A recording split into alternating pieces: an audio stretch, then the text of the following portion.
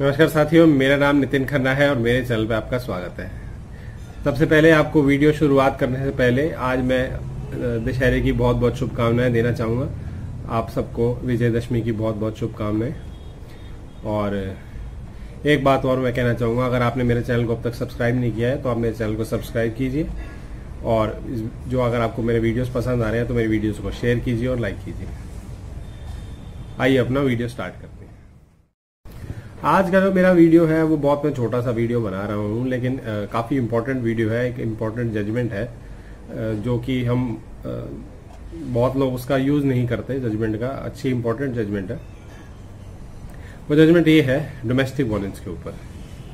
अब domestic violence के ऊपर आपने देखा होगा कि डॉटर इन लॉज जो है मदर इन लॉज पे डोमेस्टिक वायलेंस का केस डाल देती है हस्बैंड पे डाल देती है। लेकिन ये बहुत कम सुना होगा कि किसी मदर इन लॉ ने डॉटर इन लॉ के ऊपर protection of women from domestic violence act का केस डाला हो।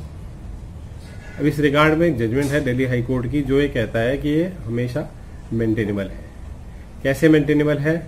कि mother in law domestic violence का केस अपने बेटे पे और बहू पे डाल सकती है, या खाली बहू पे भी डाल सकती है। अगर बहू तंग कर रही हो तो वो आपको मैं आज एक जजमेंट दिखाता हूँ। आइए, सीधा आपको जजमेंट पे ही ले चलता हूँ। ये दिल्ली हाई कोर्ट की जजमेंट है Kusum Lata Sharma versus state and another by honourable Miss justice Mukta Gupta 2011 की ये जजमेंट है नाइन ये कह रहा है as a matter of fact para four I clarifies that even those women who are sisters widows mothers single women और living with abuser are entitled to legal protection under the proposed legislation, a mother who is being maltreated and harassed by her son would be an aggrieved person. If the said harassment is caused through female relative of the son, that is his wife, the said female relative will fall within the ambit of the respondent.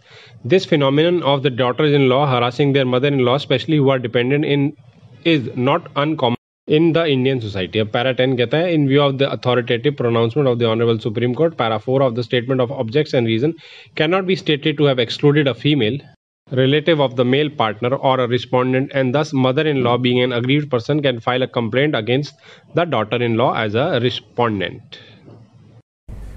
तो दोस्तों, देखा आपने honourable Delhi high court की judgement में clearly लिखा है कि mother in law जो है, वो डॉटर इन लॉ पे भी डोमेस्टिक वायलेंस एक्ट का केस डाल सकती है। अगर daughter in law domestic violence करती है परेशान करती है अपनी सास को।